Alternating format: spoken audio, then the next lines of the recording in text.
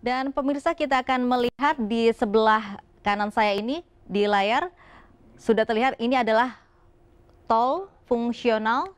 Pemirsa kita akan melihat bagaimana distribusi bahan bakar minyak oleh Pertamina yang akan disebar begitu. Ini adalah kondisi jalur fungsional Lebaran 2017 yang memang Pertamina e, mempersiapkan stok BBM yang lebih banyak, distribusinya juga disebar di beberapa titik begitu. Ini adalah lokasi Pejagan Semarang tol fungsional. Mungkin Pak Adiatma bisa menjelaskan ya. titik-titik ya. mana saja yang memang disebar distribusi BBM-nya seperti apa di wilayah-wilayah mungkin yang akan tadi diperbanyak di Tegal atau mungkin di Brexit tadi Pak Adiatma. Ya. Silakan. Terima kasih Mbak Lofi. Jadi ini kalau kita lihat di jalur yang ungu ini adalah ya. jalur fungsional. Oke. Okay. Ini panjangnya kan kira-kira 110 hmm. km. Oke. Okay. Kami di sini akan menempatkan uh, eh, 8 hmm. mobil tangki yang pakai flow meter tadi. Oke. Okay. Hmm. Terus kemudian ada 13 kios. Hmm. 13, 13 kios. kios. Hmm. Nah, di di 8 mobil tangki ini, hmm. 8 mobil tangki dengan flow meter, hmm. apabila kondisi darurat pemudik membutuhkan BBM hmm. dapat membeli di sini tetapi tidak hmm. bisa diisi full hanya okay. maksimum 10 liter aja hmm. supaya nanti juga menyiapkan untuk para pemudik hmm. lain hmm. kami menyediakan mobil tangki itu dengan okay. kapasitas yang 5000 liter okay. Uh, okay. dia akan parkir di pinggir jalan okay. di sini nanti ada 13 hmm. uh, 13 kios 13 kios ya, 13 kios juga bisa beli juga, bisa beli apa uh, Pertamax untuk ya. Pertamax ya. begitu. Ya. Uh, kalau untuk uh, BBM motor tadi begitu uh, dia akan berjalan atau menyisir beberapa titik mana saja, Pak ya. Adiatma? Jadi kalau ini kita bagi kira-kira 110 kilo okay. ya dengan 8 mobil tangki kira-kira hmm. kan mungkin sekitar tiap 15 sampai 20 kilo ada satu mobil tangki. Oke. Okay. Ya. Hmm, hmm. Jadi luasnya kira-kira sekitar 15 kilo itulah nanti dia apa bisa apa apa hmm. uh, dipantau yeah. oleh sepeda motor. Oke, okay, 15 kilo yeah. untuk satu kira-kira motor begitu, begitu yeah. bahan bakar. Oke. Jadi kan nanti ada 8, jadi nanti setiap itu segmennya kan sekitar 15 kilometeran. Baik. Untuk uh, wilayah uh, Batang ada yeah. tol fungsional yang mungkin yeah. dibuka baru begitu. Jika kita melihat dari keadaan kondisi dari tol tersebut memang uh, sudah dibuka begitu. Ya. Uh, belum ada penerangan, kondisi jalannya yeah. juga uh, sudah mulus, tapi memang ada beberapa yang uh, kurang yeah. begitu. Uh, untuk uh, bahan bakar darurat ini juga disebar di tol fungsional tersebut. Iya. Hmm. Jadi ini kan lebih jauh lebih bagus dibandingin pada tahun yang lalu ya kita belajar. Ini kan ada 10 pintu keluar. Uh, kalau misalnya okay. ada kemacetan kan bisa pemudik juga nanti pasti hmm. diarahkan oleh uh, apa dari kepolisian Baik. atau dari perhubungan. Hmm. Tapi kami menyiapkan apa lokasi-lokasi uh, pengisiannya, Baik. pengisian okay. darurat ya. Baik, gitu. itu dia Pak Diatma. Oke, kita lanjutkan kembali perbincangan kita Pak ya. Diatma uh, untuk melihat dari tol fungsional ini dari Gringsing ini begitu uh, ya. kondisinya memang sudah dibuka, tapi uh, ada tidak sih SPBU yang mungkin uh, standby di situ sudah ada di beberapa titik di tol fungsional tersebut? Ya, di, di dalam tol fungsional belum ada SPBU. Belum ada SPBU. Belum ada. Oleh sebab okay. itu kami menyiapkan mobil tangki yang ada flow meter. Baik. Ya. Okay. Dan juga ada kios ya, ada Baik. 13 kios uh, 13. sepanjang itu apa sepanjang Baik. jalur fungsional tadi. Mm -hmm. Nah nanti bisa dilihat dengan menggunakan mm. aplikasi Pertamina Go. Oke, okay, yang tadi Anda Ya, Pertamina ya. Go okay. nanti bisa lihat di mana lokasi mm. SPBU atau bukan SPBU ada kios ataupun mm. mobil dispenser yang terdekat. Oke, okay. Pak Adiatma kita bergabung terlebih dahulu bersama Aprilia Putri untuk melihat kondisi terkini di Tol Gempol Surabaya Ya, silakan Aprilia dengan laporan Anda.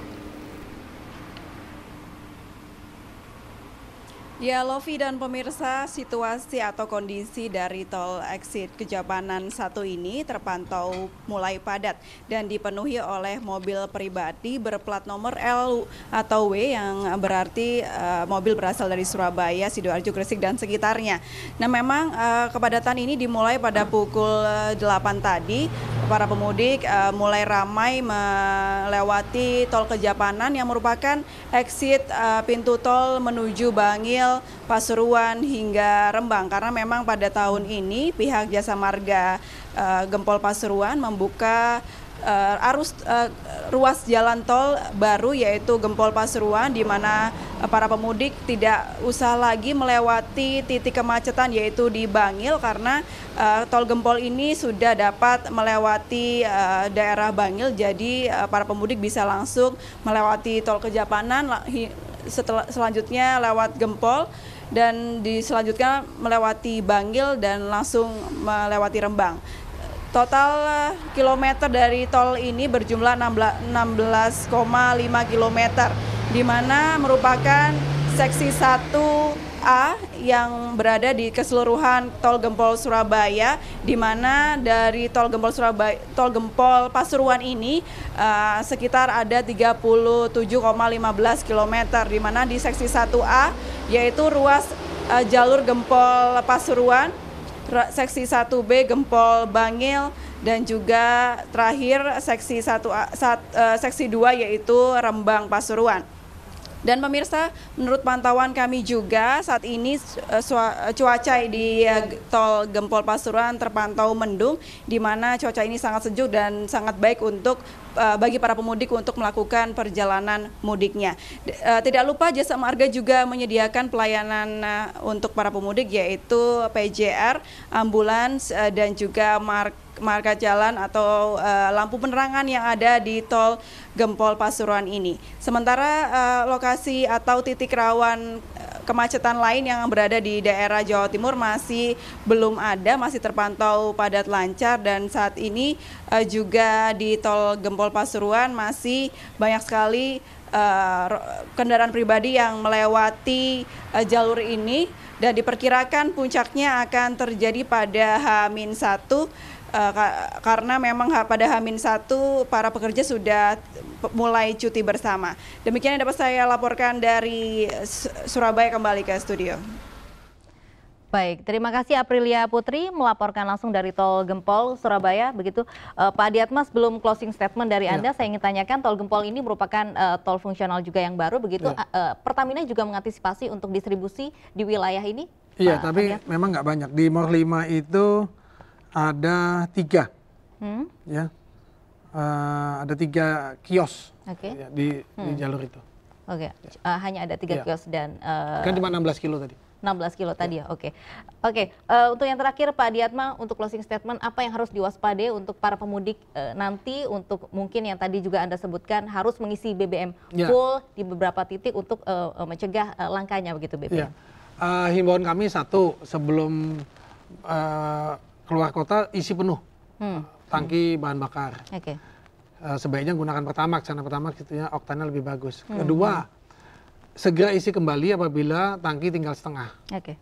Yang ketiga, uh, gunakan aplikasi Pertamina Go untuk hmm. melihat uh, apa di mana lokasi SPBU apa hmm. terdekat, kios hmm. di mana hmm. gitu ya. Yeah. Yang keempat, apabila aplikasi Pertamina hmm. Go mengalami kendala, misalnya sinyal atau hmm. seterusnya, bisa kontak satu lima ratus ribu itu Pertamina okay. kontak center. Oke, satu lima satu ribu. Satu lima ratus ribu ya. Okay. Nanti di situ akan dipandu, dia akan beritahu bahwa di mana SPBU terdekat.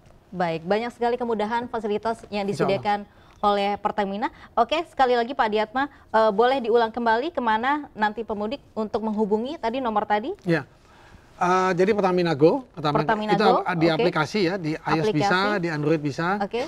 Kemudian kalau itu mengalami kendala sinyal atau segala macam, hmm. gunakan uh, kontak center. Jadi bisa ditelepon ke satu lima ratus ribu.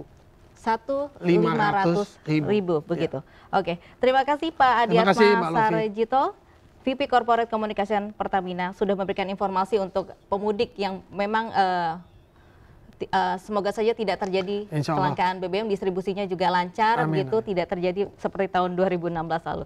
Oke, demikian spesial report hari ini pemirsa. Saya Lovia Nadia Undiri, terima kasih atas kebersamaan Anda. Sampai jumpa.